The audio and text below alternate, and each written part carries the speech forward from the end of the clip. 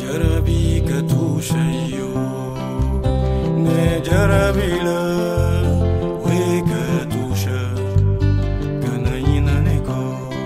Η συλλογική κουζίνα στο κέντρο της γης γίνεται κάθε Κυριακή, την Άνοιξη και το Φθινόπωρο. Είναι μια δράση της οργάνωσης γη, η οποία είναι δωρεάν και βασίζεται στην εθελοντική συμμετοχή. Εδώ πίσω γίνεται η βασική δουλειά του κέντρου της γης, της οργάνωσης της γης, η οποία είναι η εκπαίδευση.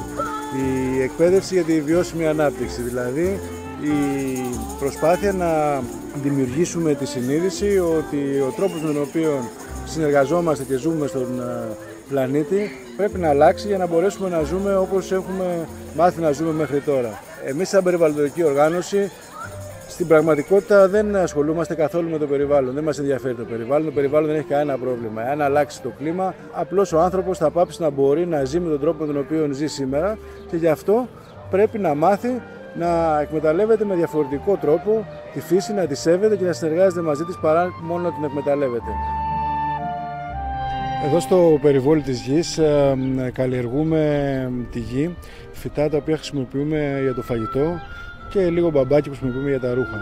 Αυτό το κάνουμε κυρίως για εκπαιδευτικούς λόγους. Είναι ένας ε, λαχανόκηπος επιδεικτικός και στα παιδιά αρέσει πάρα πολύ η επαφή με τα φυτά τα οποία χρησιμοποιούμε.